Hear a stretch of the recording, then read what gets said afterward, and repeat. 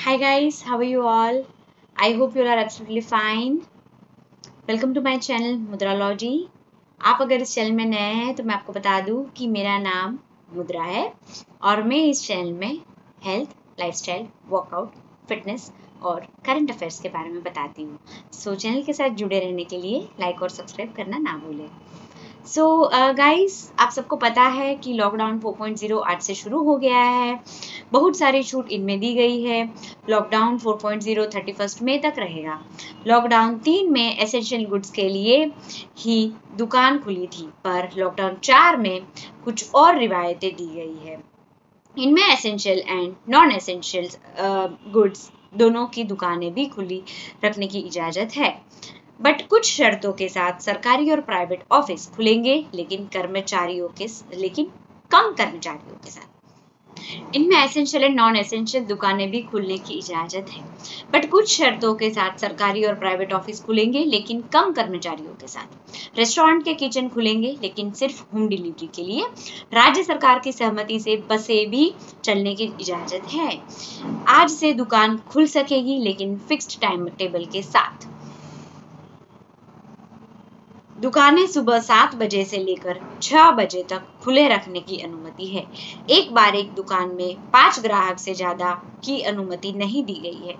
Salon खुलेंगे या नहीं, इसका फैसला राज्य सरकार करेगी केवल 35 प्रतिशत कर्मचारियों के साथ सरकारी और प्राइवेट ऑफ़िस खुलेंगे। किसी भी सरकारी और प्राइवेट कर्मचारियों का सुबह सात से शाम छह बजे तक ऑफ़िस जाने के लिए पास की ज़रूरत नहीं है। पास की ज़रूरत नहीं होगी। लॉकडाउन के चौथे चरण में अर्थव्यवस्था को पटरी पर लाने के लिए कई आम फैसले लिए गए हैं।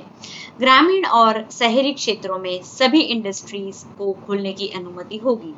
ग्रामीण और शहरी क्षेत्रों में निर्माण कार्य को बिना किसी पाबंदी के शुरू करने की अनुमति दी गई है। बिना किसी रोक टोक के कृषि बागवानी और पशुपालन की अनुमति दी गई है।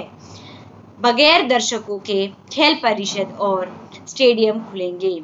जो ऑनलाइन कंपनियाँ हैं, वो अब सभी सामानों की डिलीवरी कर सकेगी। पिछले तीन लॉकडाउन के वजह से शादी समारोह और शादियाँ नहीं हो पाई थी। इसके लिए इस लॉकडाउन में कुछ शर्तों के साथ इजाज़त मिली है। नई गाइडलाइंस के साथ लिखा है कि विवाद संबंधित समारोह में सिर्फ़ 50 मेहमान सम्मिलित हो सकेंगे। इसी तरह अंतिम संस्कार में ज़्यादा से ज़्यादा सिर्फ़ 20 लोग ही शामिल हो सकते हैं। यह सारी व्यवस्थाएँ केंद्र की ओर से जारी गाइडलाइंस में दी गई है। इस लॉकडाउन में रेलवे स्टेशन, बस स्टॉप और एयरपोर्ट पर कैंटीन भी खुली रहेगी। ये तो बात हुई कि क्या खुलेगा। तो आइए अब बात करते हैं कि क्या बंद रहेगा। सभी cinema, malls multiplex, gym, swimming pool, park, theatre, bar, education institute और ऑडिटोरियम बंद रहेंगे। सभी राजनीतिक, सामाजिक, खेल, मनोरंजक, धार्मिक कार्यक्रमों पर रोक रहेगी।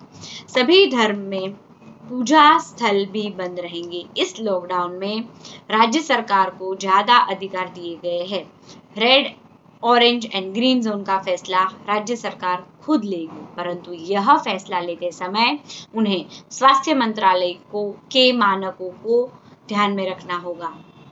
रेड और ऑरेंज जोन में कौन से इलाके कंटेनमेंट जोन और बफर जोन में आने चाहिए, इसका फैसला जिला प्रशासन करेगा। कंटेनमेंट जोन में ओनली एसेंशियल सर्विस को चालू रखने की अनुमति रहेगी। इन इलाकों से लोगों को बाहर जाने की सख्त मनाही रहेगी। हालाँकि मेडिकल इमरजेंसी की हालत में दूसरी जगह जा सकते हैं। सभी जगह पर एसेंशियल सर्विस को छोड़कर शाम सात बजे से सुबह सात बजे तक घूमने की अनुमति नहीं रहेगी। लोकल एडमिनिस्ट्रेशन के दौरान इलाके में धारा 144 सख्त से लागू रहेगा। निर्देशों में यह भी कहा गया है कि पासठ साल पैंसठ साल के बुज़ुर्ग बीमार गर्भवती महिलाएँ और 10 साल से कम उम्र के बच्चे बाहर ना निकले। आरोग्य सेतु ऐप सभी के लिए अनिवार्य है।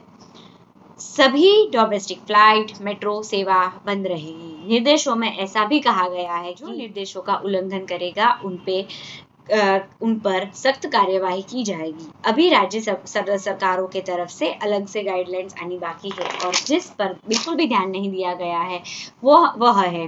माइग्रेंट वर्कर्स मजदूर डेली बेसिस पर काम करने वाले, भूखे, नंगे पाव, हज़ारों किलोमीटर पैदल चलकर अपने गृह राज्य लौटने वाले के लिए कोई सुविधा नहीं दी गई है। खैर, वीडियो को लास्ट तक देखने के लिए धन्यवाद। और आपको अगर मेरा वीडियो पसंद आया हो तो इसको लाइक करना ना भूले। और ऐसे ही ज्वलंत मुद्दों के साथ जुड़े रहने के लिए मेरे चैनल को सब्सक्राइब करना ना भूलें। ध्यान रखिए, घर पे रहिए। Bye bye take care stay safe stay home